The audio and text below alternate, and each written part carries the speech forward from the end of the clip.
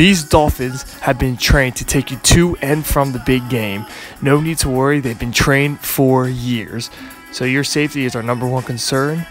And with these guys, you'll get there as quickly as possible in a very extremely safe way.